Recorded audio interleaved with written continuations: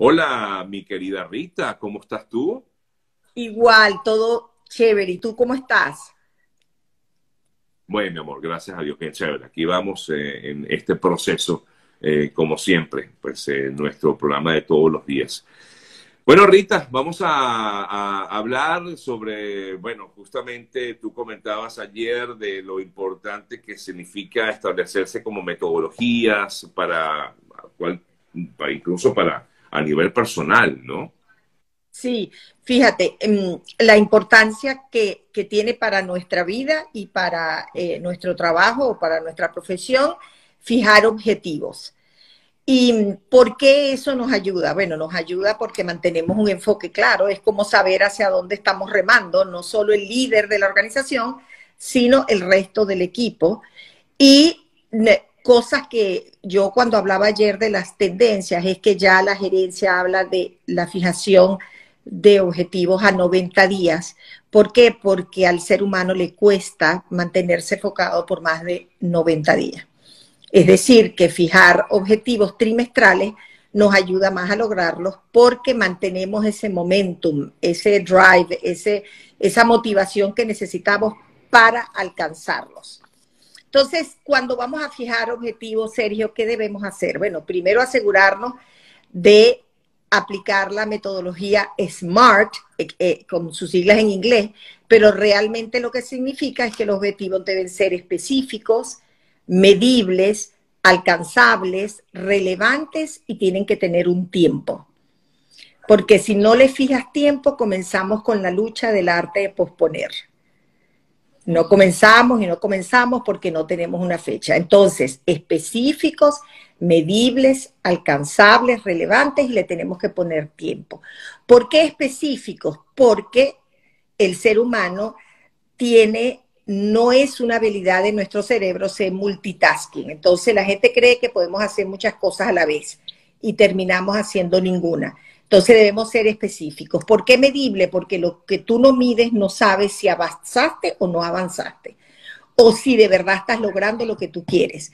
Alcanzables, ¿por qué? Porque tú no te puedes poner una meta que tú mismo sabes que nunca la vas a poder obtener. Porque ¿qué pasa con eso? Eso afecta tu motivación, afecta el deseo de logro, porque tú dices, wow, eh, eh, eh, voy a vender, vengo vendiendo 20 mil dólares y decidí que en el 2023 voy a vender este, no 20 mil dólares al mes, sino que voy a vender 250 mil dólares al mes. Son unos saltos que tú dices, tienes que ser realista. Relevantes, que sean importantes para ti y para el negocio. Y que estén alineados con la visión y la misión. Y luego el tiempo. ¿Cuándo los quieres lograr? ¿En 90 días? Bueno, en 90 días yo debo haber mejorado o incrementado mi porcentaje de venta en un 10%.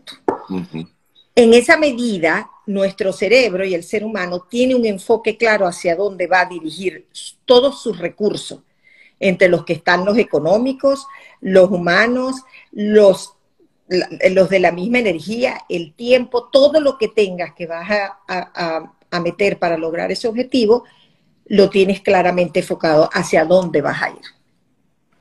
Cuando yo te hablaba de las tendencias y de la metodología, es que como ya la gerencia admitió otra llamada telefónica, Sergio. oh my God. Está muy solicitado hoy usted.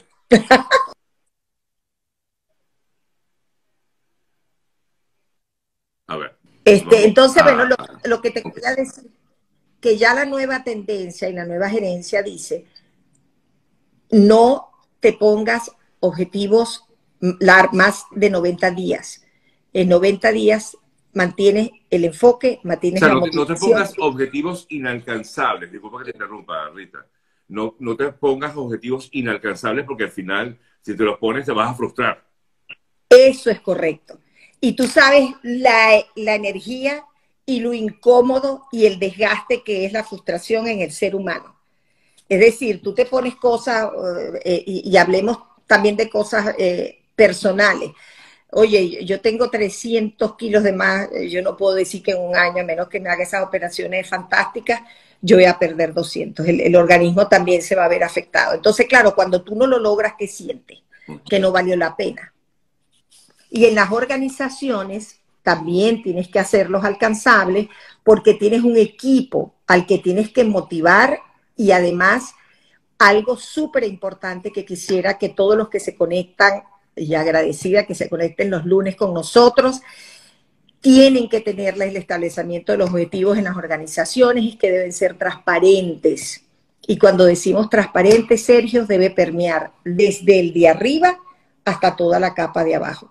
Pero cuando son transparentes, los informas con claridad y explicas por qué debemos lograrlo, entonces ahí tú vas a tener el motor de todos tus colaboradores que se van a alinear para lograr ese objetivo. Rita, ¿y cómo llevamos esto a lo personal, a tu vida, a tu día a día? Porque claro, entiendo perfectamente llevarlo a, a tu empresa, a tu emprendimiento, pero en lo personal, ¿cómo lo podemos aplicar? Bueno, de igual manera, cuando tú te fijes un objetivo personal, imagínate que tú digas, mira, en el año 2023, mi objetivo es ser dueño de mi casa. Ok. Ok. Entonces, lo primero que tienes es que establecer, bueno, ¿cómo va a ser esa casa? O sea, vamos a ser específicos. ¿Es un apartamento? ¿Es una casa? ¿Cuál es el valor de esa casa? ¿Dónde la quieres? Ah, bueno, mira, yo, yo quiero que mi casa cueste 200 mil dólares y la quiero eh, en, en, Cumbre de Curumo. Ah, bueno, perfecto. Ya tú sabes que tienes eso, luego tienes que ver si con lo que estás haciendo. Se nos. Para poderla comprar. Eh, que eh, cuando yo digo medible, tú tienes que analizar, yo de verdad voy a poder tener los recursos para que el 2023 yo me compre una casa en ese lugar con ese precio. Bueno, tú sacas tus cuentas y si tú tienes que hacer un extra esfuerzo o si tienes que poner a, tu pareja a trabajar o tú tienes que cambiar de trabajo o tienes que generar ingreso porque tienes algo que puedes liquidar y te sirve de la cota inicial, ahí estás haciendo tú. Es alcanzable es lo primero que te tienes que preguntar si, si es alcanzable. Yo puedo llegar a ese número. Y luego, ¿es relevante para ti? Claro que es relevante. Tú quieres pasar de estar pagando alquiler a tener tu propia casa. Y luego tú te pusiste un tiempo, dijiste, es en el 2023, en el 2022 no lo puedo hacer. Entonces, en la vida personal igualito, apliquen la metodología, hagan ejerci al ejercicio. Por ejemplo, si él se plantea que necesita 200 mil dólares para comprar la casa, a los 90 días él tiene que evaluar y medir y decir, wow, ya con todas estas actividades que hicimos extras, ya nosotros tenemos eh, el 50% o el 25% del valor de la casa. Es decir, si seguimos comportándonos de esta manera, entonces vamos a lograr el objetivo en el 2023. Y así para cualquier cosa desde el punto de vista profesional, que nosotros digamos, mira, yo en el 20, al final del 2022 me saqué una especialización. ¿Qué pasa con esa especialización? Que esa especialización me permite a mí tener mejores ingresos. Ajá, pero ¿qué voy a hacer? Tengo que inscribirme hoy, el programa tarda esto, tengo que dedicarle 10 horas a la semana. Son todo lo que te permite a mí, a ti decir, oye, lo estoy logrando cualquier cosa que te plantees, definitivamente, desde escribir un libro, desde graduarte, desde sacar una especialización, desde mudarte, desde emigrar, todo. Sí, sí. definitivamente eh, para todo está la planificación. Lo que pasa es que a veces, eh, digamos que el día a día te, te va comiendo, Rita, y lo difícil es sentarse a hacer eso, ¿no? Planificar. Y sobre todo no hablo quizás cuando tienes un negocio, sí, lo estableces un poco más, pero digamos en el aspecto personal, lo quizás eh, familiar, casero, de pronto eh, como que no tienes el chance, no el chance, yo creo que hay que buscarse ese tiempo, como tú bien comentabas, eh, para poder hacerlo, ¿no? Y fíjate, en mi experiencia, inclusive en los negocios, el día a día te come. Y es el efecto que yo digo de la caminadora, que tú te montas ahí, te montas, te montas, te bajas cansado, sudado, pero estás en el mismo lugar. Y eso pasa con los empresarios también, porque aunque estas son herramientas que salen desde la gerencia, y este país donde tú y yo vivimos es uno de los países que más eh, estudios y metodologías tiene para la gestión y la gerencia, porque en un mercado tan competido como esto es necesario medir y planificar, es importante que también lo hagamos, pero en la vida personal aún más.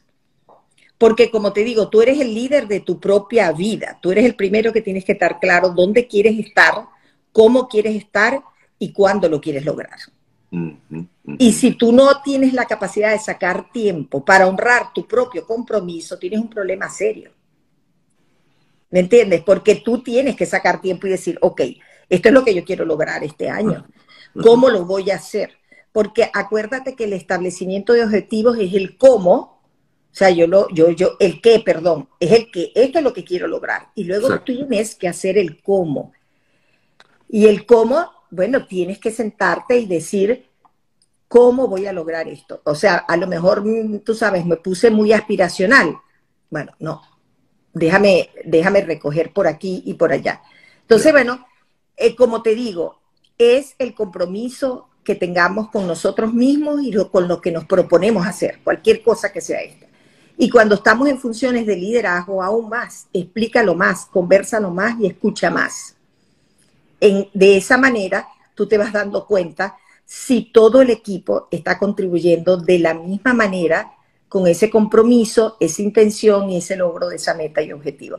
En 90 días es un tiempo rápido, tú puedes medir, tú puedes ver si estás avanzando, inclusive puedes ir ajustando lo que te propusiste, porque a lo mejor se te fue la mano cuando lo estabas haciendo. Y realmente humanamente no puedes. Y descartar cosas y buscar otro momento, por eso te digo que es, es, es, es específico, medible, alcanzable, relevante y tiempo.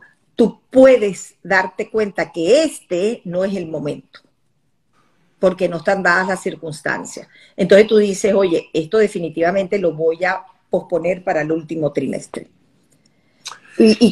Por, aquí, no, te preguntaban, comentaban, no, recuerdo ahorita porque perdí eh, el, pero me quedó el hecho de que muchas veces los factores externos no ayudan eh, rica. Eso como lo, también hay que, como quien dice, colocarlo allí en, esa, digamos, a la, a la, hora de vaciar toda esa información. Fíjate lo que pone aquí, sí es tremendo, porque cuando tienes que sacar adelante tres hijos y pagar todos los bills que hay que pagar en este país, tenemos que ser magos para planificar y sacar el tiempo para certificarnos. Eso es correcto. A lo mejor ese no es el momento para ella, pero que no lo descarte. Eso tiene que estar ahí visible, porque si la certificación te lleva a otro nivel, bueno, tus ingresos van a cambiar, evidentemente.